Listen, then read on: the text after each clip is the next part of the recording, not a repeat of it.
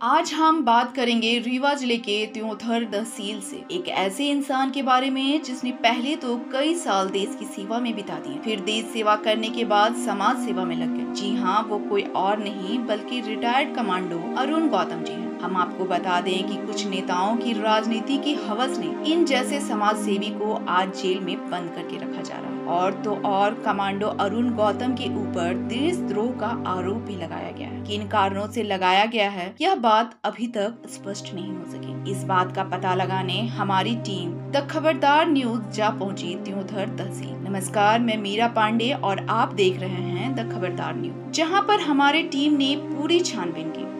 Commando पे जैसे इतनी सारी धाराएँ लिख रासुका के तहत उनको जेल में डाला गया तो ये सब चीज़ें किस हद तक जायज़ हैं या नाजायज देखिए मैं अपनी राय के साथ साथ जो क्षेत्र की राय है क्षेत्र के लोगों का जो समर्थन है उनके साथ तो समर्थन होने का कारण ये था कि वो लोगों की सेवा कर रहे थे लोगों के लिए वो काम कर रहे थे और क्षेत्र को वो मज़बूत बनाना चाह रहे थे। कमांडो देखिए समाज सेवी के कमांडो के बारे में कोई इसमें गफलतबाजी नहीं है कमांडो सच्चे आदमी है गरीबों की मदद करते हैं। अभी एक महिला बीमार हो गई थी डॉक्टरी में थी उसको पैसा नहीं था दवा कराने को उसके पास खून नहीं था। तो कमांडो साहब को पता भैया मालूम हुआ स्वयं जा करके उसको अपना खून दिए हैं।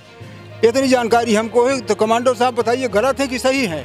ये तो गरीबों के लिए मदद कर रहे हैं ना? जी मैंने सुना है जो हमारे पूर्व कमांडो जी हैं तो उनके ऊपर देशद्रोह का आरोप लगाया गया है। तो इस बारे में आप क्या कहना चाहते हैं? जो आपने सुना ये बात बहुत सटीक है। जो व्यक्ति जो देश की सेवा करते हुए 22 साल देश के लिए जान देने के लिए कुर्बान हो, उसके ऊपर देशद्रोह का कैसे लग सकता है? जिससे यह निष्कर्ष निकलता है कि उनके ऊपर लगाया गया देशद्रोह का आरोप निंदनीय बेबुनियाद है, उन्हें फंसाया जा रहा है। हम आपको बता दें कि कमांडो अरुण गौतम ने समाज सेवा में कई कार्य कर चुके हैं, जैसे कि उन्होंने कई गरीब लड़कियों की शादी अपने दम पर करवाया। और तो और उन्होंने अब भी आठ दस गरीब और निसहाय बच्चों को गोद लिया है, जिसकी लिखाई पढ़ाई से लेकर सारी जिम्मेदारियाँ खुद के लिए हुई। हम आपको बता दें कि घटना की शुरुआत एक गाँव चिल्ला से हुई, जहाँ पर बिजली की समस्या को सुलझाना उनको भारी पड़ गया। दरअसल बात यह है कि इस गाँव में कई महीनों से बिजली नहीं थी। वहाँ का ट्रांसफार्मर खराब हो गया था, जिसे लगाने के लिए गाँव वालों के अनुसार बिजली विभाग के अधिकारियों द्वारा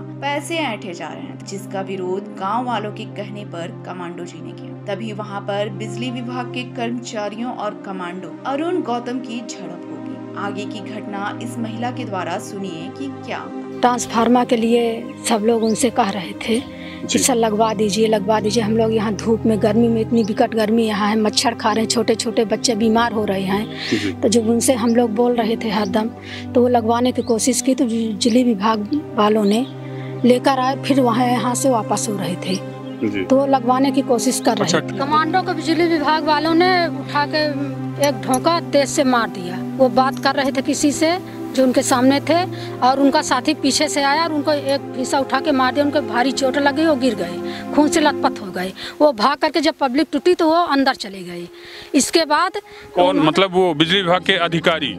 वो खुद से अपने से अंदर गए थे। वो अपने से गए। इसके बाद जब पब्लिक टूटी तो अंदर चले गए और वो खून से लथपथ पड़े हुए थे वहाँ पे। कमांडो। कमांडो। वो अंदर जा कर के और पुलिस को फ़ोन कर दिया और पुलिस जब आई तो दरवाज़ा खोला और हँसते हुए वहाँ से निकल पड़ा। बिजली विभाग का अधिकारी द खबरदार न्यूज़ के गाँव गाँव जाकर लोगों से बात की, जहाँ पर ये सब, यही बात की कमांडो अरुण गौतम के साथ बहुत गलत हुआ है। उन्हें फंसाया जा रहा है। वो गरीबों और असहायों के मसीहत है। द खबरदार न्यूज़ की टीम कमांडो अरुण गौतम के घर जाकर उनके बेटे और पत्नी से पूछताछ की, जहाँ पता चला कि एमपी पुलिस और यूपी पुलिस ने बिना किसी चेतावनी के घर में घुसकर तोड़ फोड़ किया। बच्चों को धमकाया सीसीटीवी का सीवीआर बॉक्स भी तोड़ा। दरवाजे तोड़े, यहाँ तक कि अलमारी को भी तोड़ा। जिस पर कमांडो अरुण गौतम की पत्नी का पुलिस के ऊपर आरोप है कि उनके कुछ गहने और पैसे गायब है। इसके बाद पुलिस ने कमांडो अरुण गौतम को अपमानित तरीके से ज़बरदस्ती ले गई। आप स्वयं सुनिए पुलिस कमांडो अरुण गौतम के घर पर क्या पहले हम लोगों को नहीं पता था कि पुलिस आई हुई है। हम लोग उस समय पढ़ रहे थे अंदर। तो उन्होंने धमकी दी कि हम तुम्हारा गेट तोड़ देंगे, लेकिन फिर भी हम लोगों ने नहीं खोला। तो इन्होंने सबसे पहले ये हमारा जो हॉल का गेट है, उसको तोड़ा। और उसके बाद अंदर घुस गए थे घर के। और फिर बाद में हमारा जो सीसीटीवी कैमरे का डीवीआर सेटअप है उसको भी तोड़ के ले गए हैं जिसके बाद जो भी रिकॉर्डिंग थी पहले की वो हमारे पास है और उसके बाद की नहीं है हमारे पास। जिसके बाद द खबरदार टीम ने पुलिस के अनुभागीय अधिकारी त्योथर से हुई जहाँ पर अनुभागीय अधिकारी ने क्या कहा आप खुद ही सुनिए। समाज सेवी व्यक्ति को एनएसए लग जाना ये कहाँ तक जायज़ है? देखिए कमांडो अरुण गौतम के खिलाफ अपने सुहागी चाकघाट में कई अपराध पंजीबद्ध थे छः सात। और इनके द्वारा जो जेई के साथ मारपीट की गई एमपीवी के, उसमें प्रकरण पंजीबद्ध किया गया और इनकी तलाश कर रही थी पुलिस। और पुलिस ने जब इनकी तलाश किया तो इनकी गिरफ्तारी इनके नैनी स्थित आवास से हुई। जब इनकी गिरफ्तारी हुई उस समय यूपी पुलिस भी अपने साथ में थी और यूपी पुलिस ने जब इनको देखा तो उनने बताया कि हमारे यहाँ का ये व्यक्ति हिस्ट्री शीटर है। उत्तर प्रदेश में भी इनके खिलाफ कई अपराध पंजीबद्ध हैं। तब उनसे रिकॉर्ड मांगा गया था और जब यूपी पुलिस ने रिकॉर्ड दिया तो वहाँ इनकी हिस्ट्री शीट भी खुली हुई है और हिस्ट्री सीट उस व्यक्ति की खुलती है जो लगातार आतन अपराधी होता है और गंभीर अपराध घटित करता रहता है। किसी तरह से वो अपने आपराधिक कार्यों से बाज नहीं आता है।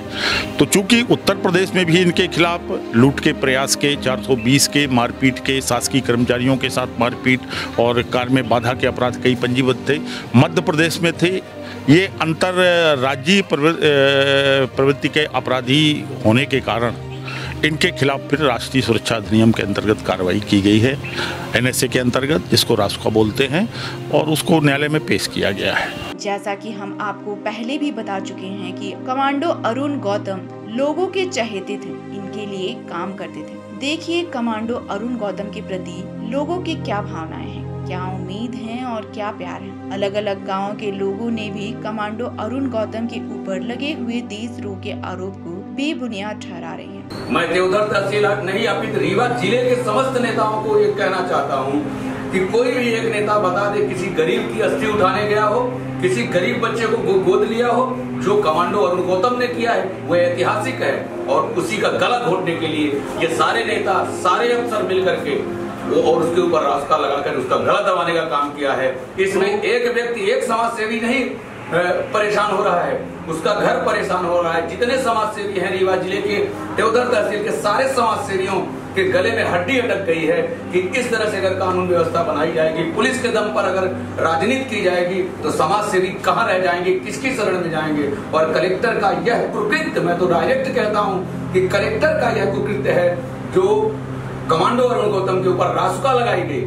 कोई भी एक व्यक्ति कह देते, उधर तहसील नहीं या रीवा ज़िले में प्रमाण सहित उसके द्वारा कहीं भी लड़की छेड़खानी की गई हो, कहीं भी चार सौ बावन जो लगी है धारा, कहीं भी डकैती किया गया हो हाँ इतना ज़रूर कहूँगा निश्चित तौर पर अगर समाज सेवियों को परेशान किया जाएगा तो जो छत्तीसगढ़ में नक्सलाइट पैदा हो रहे हैं वो पुलिस और नेता मिलकर के देवधर में नक्सलाइट पैदा करने का काम कर रहे हैं उसमें कलेक्टर की भी मिली भगत कमांडो अरुण गौतम के बारे में आप क्या सोचते हैं? अपनी राय कमेंट बॉक्स में ज़रूर दें। बने रहें खबरदार न्यूज़ के साथ धन्यवाद। कमांडो देखिए समाज सेवी के कमांडो के बारे में कोई इसमें गफलतबाजी नहीं है। कमांडो सच्चे आदमी हैं गरीबों की मदद करते हैं। अभी एक महिला बीमार हो गई थी डॉक्टरी में थी उसको पैसा नहीं था दवा कराने को उसके पास खून नहीं था। तो कमांडो साहब को पता भैया मालूम हुआ स्वयं जा करके उसको अपना खून दिए हैं। इतनी जानकारी हमको है? तो कमांडो साहब बताइए, गलत है कि सही है?